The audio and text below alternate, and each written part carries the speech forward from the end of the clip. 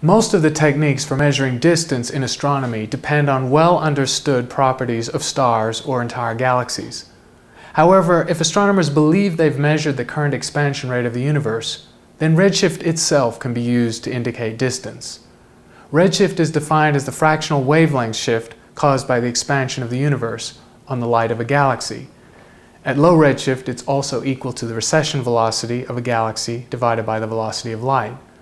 When this is combined with the Hubble relation, you get the expression distance equals redshift times the velocity of light divided by the Hubble constant. So in knowing the Hubble constant and the redshift, the distance can be calculated. Redshift maps directly to distance in a linear way at low redshift. For example, if the redshift of a galaxy is 1%, z.01, then the distance is calculated to be just over 40 megaparsecs, or about 140 million light years.